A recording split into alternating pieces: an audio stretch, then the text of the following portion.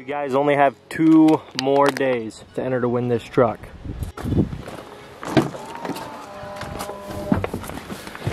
Get in here and start her up. So that's how your truck's gonna start. You push one button, if the key's in the truck, it'll start.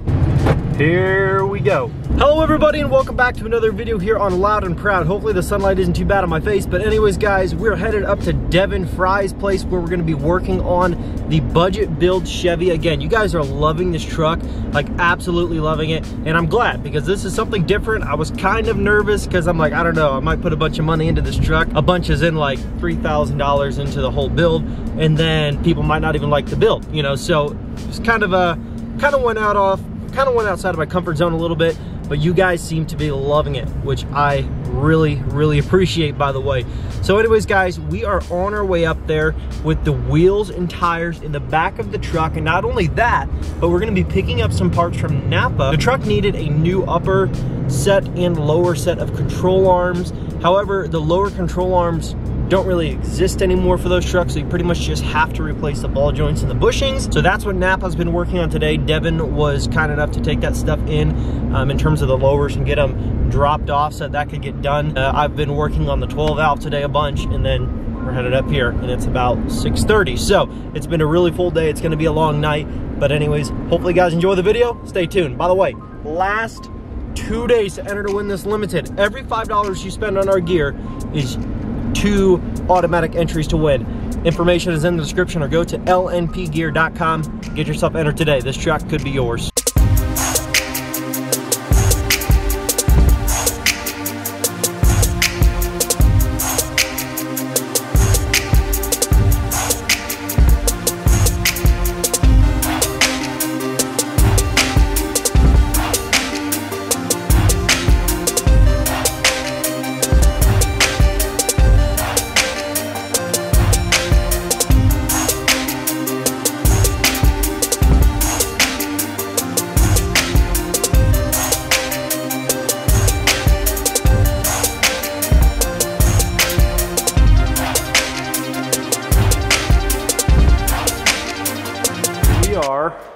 Yet again.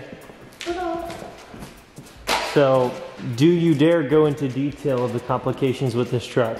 This truck, let me tell you some, let me tell you a little story about this old racer that we know. What, Blue Lightning or something? Blue Lightning, that's yeah. what we call it. This is the race ready truck that is give you a fit in every bolt, crook, and nanny. Yeah, bolt, nook, crook, and cranny nanny. Yeah, cranny. Something, it's just something, you get the idea. She loves the torch and some heat. Yeah. But no, um, I mean, the back's done. I had to wait on some parts, so we found ball joints and all that stuff uh, pretty pretty shot, so we don't want to ruin a new set of tires. We're putting together the steering linkage. I can show you. So this bar actually goes on to your pitman arm and your idler pulley, and it's supposed to go like this. Well, these holes are chamfered for the ball joint to go up to it and set on it tightly and couple it, well, these holes are backwards drilled. So no boy, no. that's no good. So we yeah. called the manufacturer and got that taken care of, and they have a brand new one coming, and it should be here.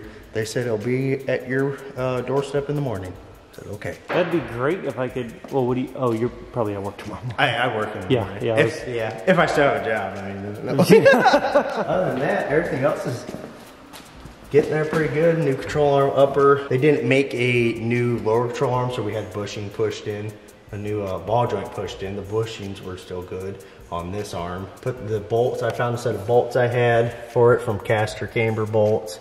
Uh, got the new brackets on, had to do a lot of cutting just to clear a lot of the old brackets to put the new brackets on to clear your front pig. And then we have to modify the exhaust so we can line the front drive shaft up. So yeah, so that uh, yeah, there's a front drive shaft. yeah, that's, that's, that's, a little bit problem. I mean, little. I mean, so yeah. So here's what we're thinking. This is what I said to do. I said we just cut it here, and if we have an adapter, get an adapter that drops it down um, but then other than that, just flexi pipe. Or do we just do flexi pipe the whole thing from here just that just hangs underneath the there. I don't know. Right. Yeah, I mean that's the cheaper hillbilly way, but hey, sometimes you gotta do what you gotta do. I mean, it's not like it's gonna be bad or anything. I mean, Yeah. it's, it's still an exhaust pipe. I mean, it's solid on both sides Yeah. coming down here. I mean, you could swing on that thing, and, and on that side, it just you need something to connect the exhaust, I guess. Exactly. But we'll figure it out. Yep. Or we could just cut both of them pipes right there. Cut Put a big chrome out. tip on there. just, just put a grass burner. Ah, let's just let's just go crazy. Hater I'd say pipe. We just, yeah, I Both say we sides. just put two brand new pipes with the T flange and put a big turbo right here. What do Yeah. say, you know. it doesn't make us any power, but it sounds cool. Right. People have the rear mounts and then your regular turbos up top. Now we have a bottom manifold turbo. So, Yeah. You know, don't mind the water in it. So that wheel, it should last maybe a year. Yeah, so we're basically trying to. He finished this whole side here.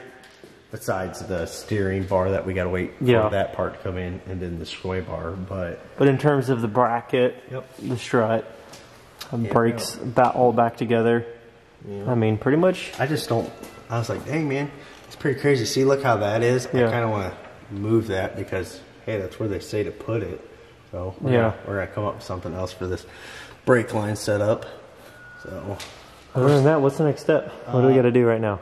do that side, we can throw it together, and then we can uh, put your jewels on the back if you want. Well, uh, should we?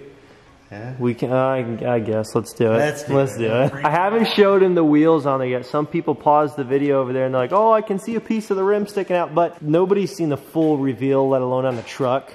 So we'll see what happens. We'll see what they think about him once we get him on. Right. On bolt holes. For a second there, I'm like, "Are you serious?" put it back down. Put it back down. Holy crap, dude! Those are huge. yeah. Oh my goodness. Let's put them on and then we'll lower this down so the back axles sit on the ground. We're gonna grab the old flaps there. See, they just look big because it's in the air. a lot. They're they're big. oh, man. Oh.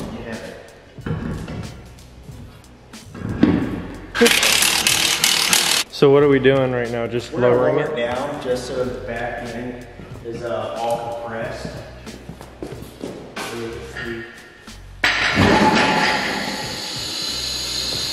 See how she sits with the dancing shoes on. They already look smaller. Holy crap! There it is. Oh man. Check that out. So here's the wheels. They're ProComp steels. That's just what they were called. You know what they're actually called or no? Fake beadlocks. Yeah, fake beadlocks, but they're nice. They look real good. I like it because it has that off-road look with it and everything.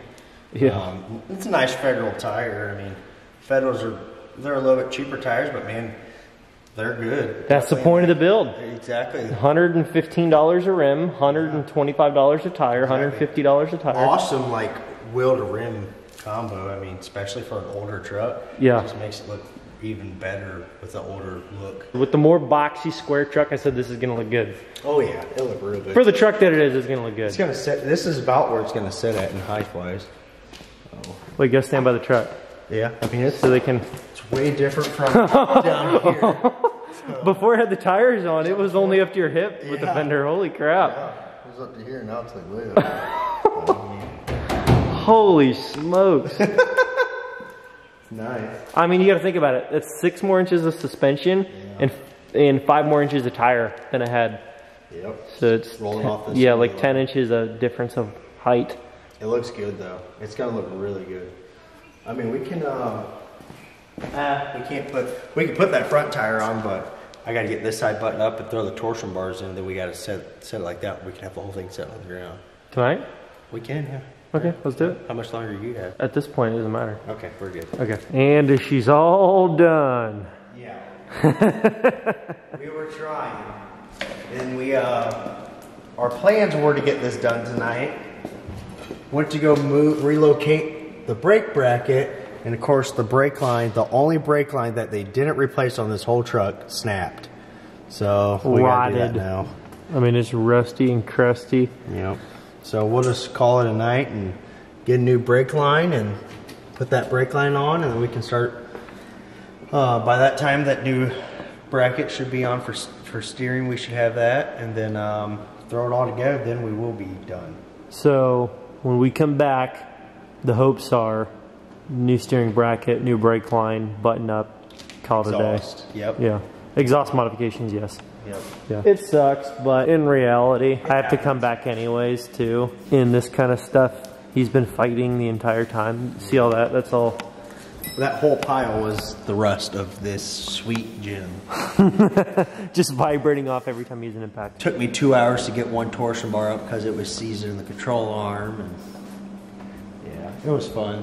A lot of fun. But it is going to be huge. It's gonna be pretty big. It's gonna set really good, and I think those wheels and tires are gonna set it all. I think it was a perfect look. Yeah. If I must toot my own horn. Yeah. for the budget that we went with, I think it was a pretty good look for the budget. But um, if anybody is to look at doing budgets, yeah, you just gotta put back in your mind how far you really want to go into, you know, like ball joints and stuff like that. While you're there, you might as well do it because down the road, especially if you're putting giant wheels and tires on it. exactly, Yeah. because it'll it'll start eating up the tires and all that too. So, Yep. happens. So in terms of like the budget for this, it went up probably 500 bucks. Yeah, Just just, keep that in the back of your mind. That's what. Remember, I worked Yeah. at the truck shop. I always told people to keep 500 to 1,000 bucks in the back of their mind in case I find ball joints and stuff like that uh, bad, or CV shafts, or any of stuff like that. But I mean, it's it's your typical wear and tear, Yeah. especially on something this old. But Who knows if it's ever been done? 20 years. So that's where we're going to have to wrap it up today. Hopefully, you guys enjoyed seeing a little bit of the progress. I know Devin enjoyed doing it, right? oh, I totally. do. So we got to go pick up a couple parts so that we can wrap this up. Hopefully this week yet, but no promises. We'll see what happens. But uh, that's pretty much going to wrap it up for the truck. But let me know down in the comment section below, 1 to 10, how do you guys think this is going to look with the wheels and tires that I picked out? Again, let's do another little close-up look so you guys can see what we're looking at here. They're just some Pro Comp. All it said on the label is Pro Comp Steel. I don't know exactly what model it is. Is that bad, Devin, that I don't know what model wheel I bought? no. No, it was cheap. This is Pro Comp, and uh, I'm not saying everything Pro Comp makes is cheap necessarily, but just this particular setup with a 16 by 10, and then uh, Federals because the Federals are on the cheaper side, and the reason, again, I went with the cheaper stuff is because that was the whole concept of the truck. Cheaper truck, cheaper parts in terms of like wheels and tires and stuff like that. I wouldn't necessarily call the Zone kit a cheap kit. It's the more budget friendly series, but I wouldn't say it's like super cheap quality, would you? No, uh, their quality's very good. It's been around for years. Awesome, you know. I mean, it started off as a like guys in the garage, and it's huge now. Yeah. You know, like they're they have awesome welders that work there. Um, they have a lot of good CAD guys and everything too. They build a lot of good quality stuff. So we're gonna have to finish this another day, but let me know guys, what do you think of the setup and just look how big this thing is. It's gonna stick out pretty good. I think it's gonna look really, really beefy when it's done. oh man, I'm excited. Thank you so much for watching the video. Thank you so much for dealing with this rusty piece of crap Oh, one yeah. more day. Anytime. I'll bring you another one. You right? Hopefully not that crusty. But anyways, guys, thank you so much. Hopefully you guys enjoyed the video. Remember, last two days to enter to win the 2019 Ram 3500 Limited. You should probably do that. And uh, anyways, guys, I'll catch you in the next video. Peace.